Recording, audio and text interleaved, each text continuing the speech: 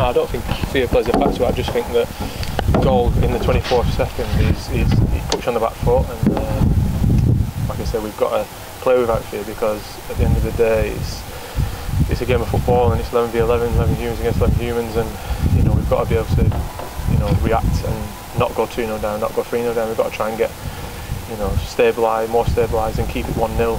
You know, and then come out and hopefully you can nick something or get a draw, and then you take a point, and that's obviously much better. So that's something that obviously needs to be worked on quickly.